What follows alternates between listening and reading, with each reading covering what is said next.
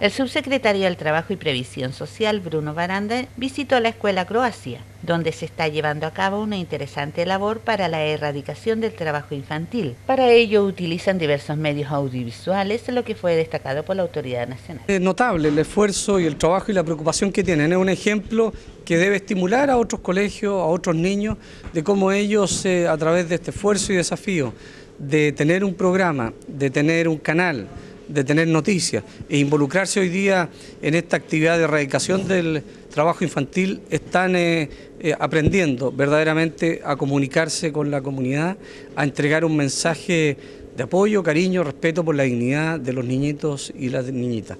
En la medida que vamos generando conciencia y ellos entonces hoy día están comprometidos a generar esa conciencia. Dijo Baranda que la erradicación del trabajo infantil es uno de los desafíos del presidente Piñera poner dignidad en el trabajo, lo que no solo representa condiciones de trabajo de calidad de los adultos, sino también prohibir terminantemente y tajantemente el trabajo infantil en el país. El spot que se está elaborando en la Escuela Croacia busca entregar el mensaje de cariño y respeto por los niños. Los menores de edad no pueden trabajar. En la medida que divulgamos e informamos, estamos cumpliendo un segundo rol.